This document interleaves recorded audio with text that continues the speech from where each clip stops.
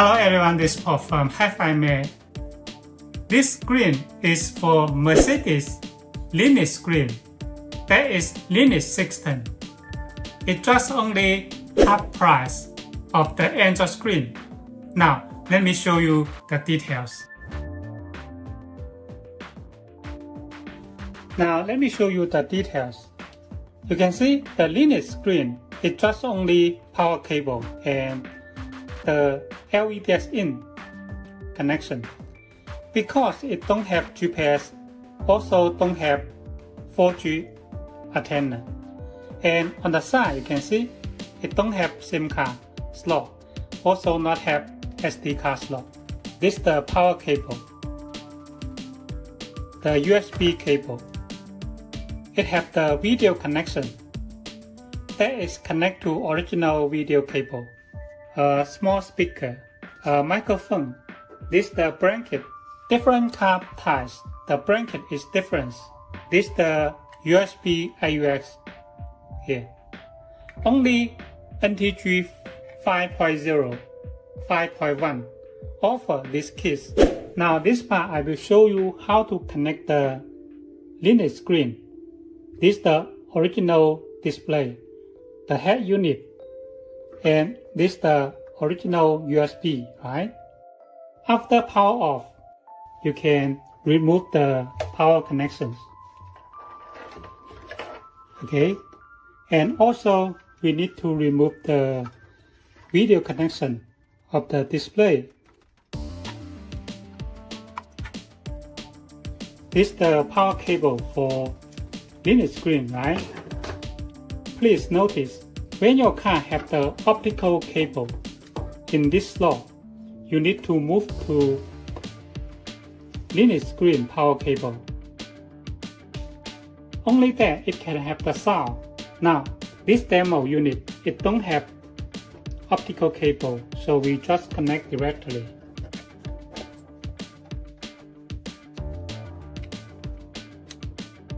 And the original video cable connect to Linux screen.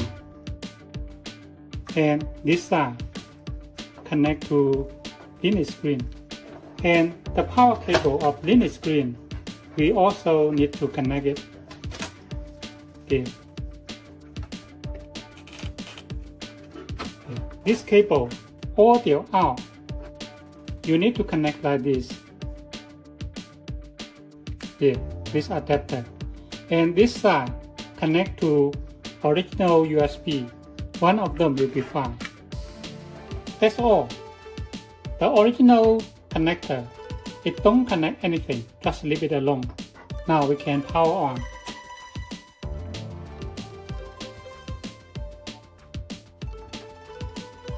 Here you can see. Now it get into the menu. It start very quickly here is the menu for the Linux screen. Here.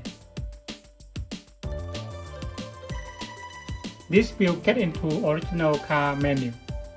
All original functions work same as before. Now we connect the CarPlay. Just turn on the Bluetooth in your cell phone. And you need to pair the Bluetooth here. Here, this one. Click it. Here. Allow.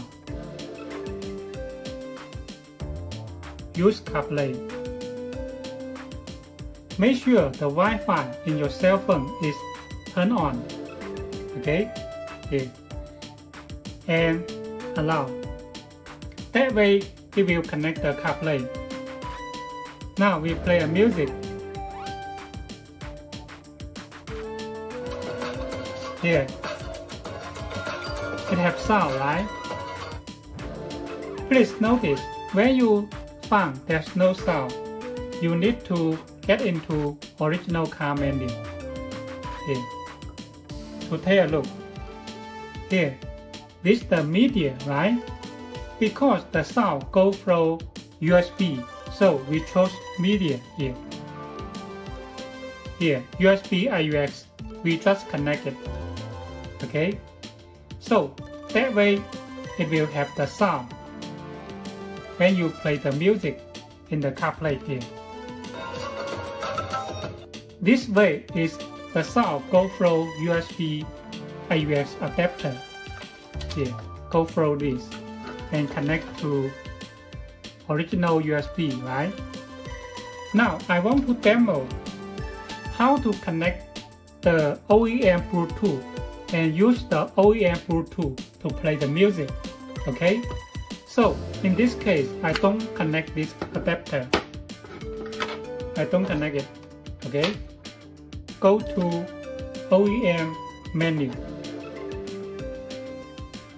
Go to Bluetooth audio. Options here, you can see Bluetooth audio device.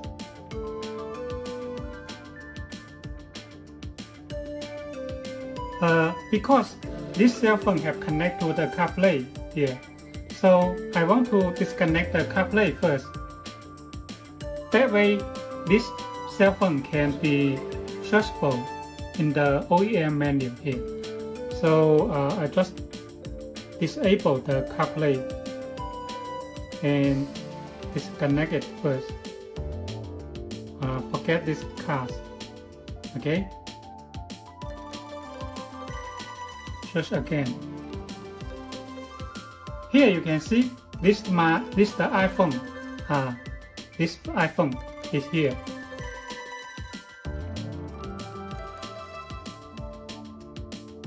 Here. Uh, yes. Yes. Allow. Here you can see in the cell phone you can see MB Bluetooth, it shows connect, right? The Bluetooth audio have activated in the unit. Here, it can hear the sound here. So now the cell phone have connect to here. So we try to connect the CarPlay, but we need to notice there's a setting uh, 16 here and use car's Bluetooth channel set to on uh, here. That way we can use the original car Bluetooth. So now we connect the CarPlay again. Now we connect the CarPlay. This is the CarPlay, right? Pair. Allow. Use CarPlay. That way it will connect to CarPlay. Allow here. Now, what we do is need to choose the Bluetooth as the audio channel here. And then we play a music. You can see it have the sound, right? Now, the sound is go from OEM Bluetooth audio here. So in fact, you don't need to install this adapter.